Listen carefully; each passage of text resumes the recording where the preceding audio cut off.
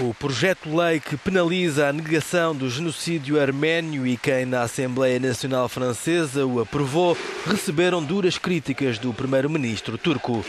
Numa reunião com a bancada parlamentar do seu partido, o AKP, Recep Tayyip Erdogan respondeu à letra à aprovação senatorial da referida lei na segunda-feira à noite.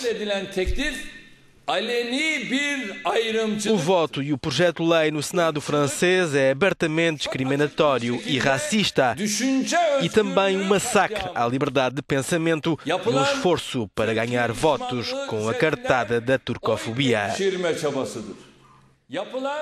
Para entrar em vigor, a lei ainda vai ser analisada pelo Conselho Constitucional e depois promulgada pelo Presidente da República, Nicolas Sarkozy. A Turquia vai responder de acordo. Vamos anunciar as nossas medidas em função do evoluir dos eventos e partilhar o nosso plano de ação com a opinião pública.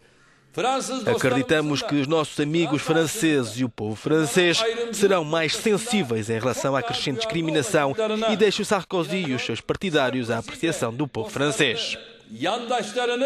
Fransız halkının takdirlerine havale ediyoruz. Represálias passo a passo, a Turquia, um importante parceiro comercial com a França, pode mandar regressar definitivamente o seu embaixador e cancelar projetos conjuntos.